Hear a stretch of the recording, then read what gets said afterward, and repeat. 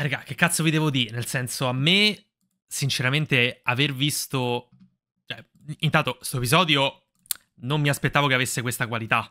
Ma anche il messaggio che lancia è veramente bello perché, ok che si intuisce dal titolo, fan animation, cioè fan letter, la lettera dei fan, ma è bello che, cioè, è la lettera di un fan, ma è indirizzata a noi. Cioè, questo episodio è proprio per i fan di One Piece. Questa è la cosa bella. Cioè, è come se tutti i personaggi che vediamo qua, quelli che tifano per Brooke, la protagonista che tifa per Nami, la tizia che tifa per. Uh, cioè, i, i, i, due tipi che tifano per Luffy.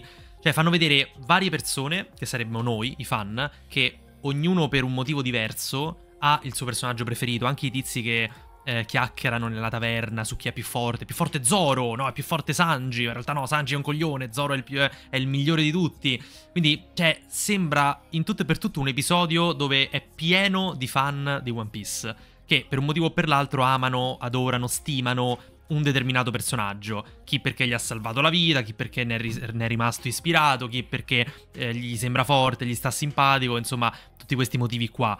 E la cosa bella è che non solo è un episodio che mostra il punto di vista dei fan, ma perché ci fanno vedere sia le cose che accadono a Sabaudi dal punto di vista di tutte queste persone, sia le cose a Marineford dal punto di vista dei due Marine che combattono.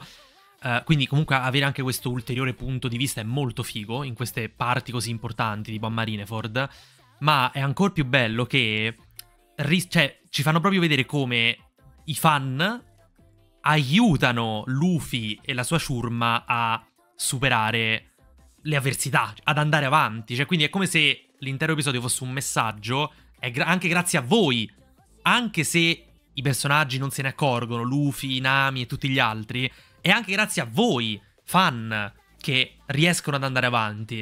È proprio bello, dai, è proprio bello. E ancora più bello il fatto che non è un episodio a cazzo di cane. Cioè, è un episodio che fa vedere delle cose successe nell'anime da un punto di vista differente, quindi già solo questo è figo, ma che poi si ricollega perfettamente con la scena do- con la parte dopo. Cioè, questa pausa di sei mesi che fanno non è una pausa a cazzo di cane come in tutti gli anime che ci stanno, ma è una pausa fatta in concomitanza con il finale del, del, cioè, episodio che ho visto di One Piece di Aged che si conclude la parte sull'isola dei pirati con Garp e tutti gli altri.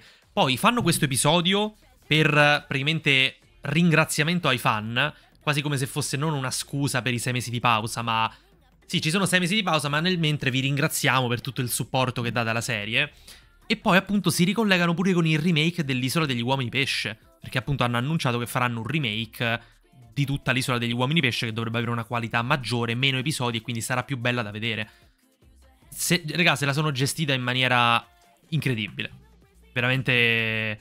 Cioè, quasi ma non vi dico che sono contento dei sei mesi di pausa, ma sicuramente con un episodio del genere e che si, poi si ricollega al remake, sono molto più contento che se non ci fosse stato. Cioè, sono riusciti ad addolcire la pillola, la brutta notizia della pausa di sei mesi in maniera eccellente. Quindi, cioè, qua secondo me stiamo iniziando a... Cioè, stiamo proprio sconfinando a un livello superiore del, degli anime. Cioè, questa è una cosa... Cioè, sono come possiamo definirle? Stratagemmi, manovre di marketing, cioè, qua, regà, sono proprio next level questi. Altro che episodi da un'ora e mezza, Re Zero che skippa l'opening, skippa l'ending, cioè, qua stanno proprio il non plus ultra, quindi secondo me veramente One Piece negli ultimi mesi, da quando è iniziata la saga di Egghead in poi, e con questa cosa soprattutto della lettera dei fan, tra l'altro vabbè l'episodio, inutile dirlo, ha una qualità della madonna ma soprattutto a livello registico, le sequenze, cioè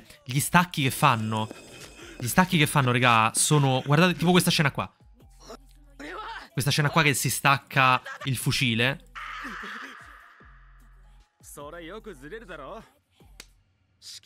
Questa, oppure nel finale... Nel finale... Questa qua. Questa qua è la migliore. Cioè, se vi posso dire, questa qua è la migliore. Senza alcun'ombra di dubbio questa è senza senso.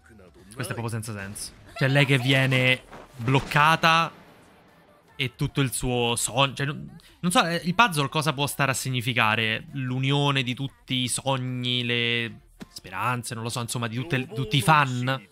Que questo è come si fa un episodio. Cioè, questo è come si fa un episodio. Altro che blu cock, blu PNG, blu PowerPoint, blu sto cazzo. E... Bello, bello, bello. Poi bello, cioè, so, tu, tutti, per tutti i fan sono tutti simpatici. Guarda qua, pure il Marine. Che carino. Cioè, chi, chi, è la stessa cosa che diciamo noi. Cioè, nel senso, quanto è carino Chopper. Quindi, è cioè, troppo relatable. Cioè, troppo molto facilmente immedesimabile in questi personaggi. Cioè, è molto facile immedesimarsi in questi personaggi. Mo arrivano, mi pare, Crocodile e Mihawk, ma vengono interrotti da... Qua.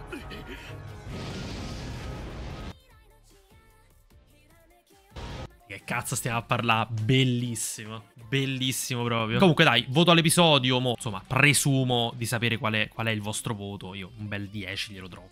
Proprio niente, niente da dire. Vabbè, voi che voto gli dareste? Un 9,5, dai, tanto già lo so. Sarebbe una cosa del genere. Bello, bello. Ma soprattutto, sapete cosa mi ha fatto venire voglia di vederlo in live, One Piece? Secondo me ci può stare vederlo in live. Sì, tra... poi abbiamo pure sei mesi. Abbiamo pure questa pausa di sei mesi che ci viene in aiuto come proprio fosse una cosa provvidenziale. Quindi se non lo facciamo adesso non lo facciamo mai più. Quindi io lo farei.